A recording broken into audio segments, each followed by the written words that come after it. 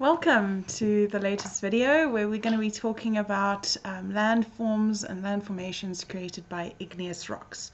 So our landforms can be created by extrusive igneous formations and intrusive.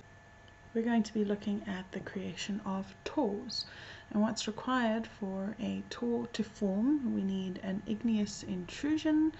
Um, below that we will have some water table um, water which we'll have a look at how that comes into play later.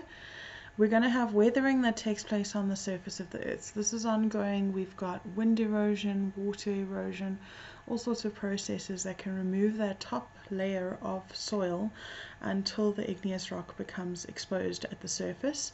So when that becomes exposed, um, what we're going to start seeing is water getting involved um, with the rock directly, so water seeping in from the surface.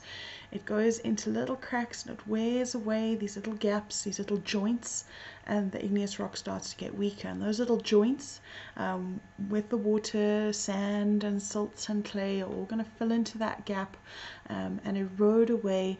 And the water is going to continue um, filtering into gaps further down and gradually wear away until we get this jointed, blockish looking um, object.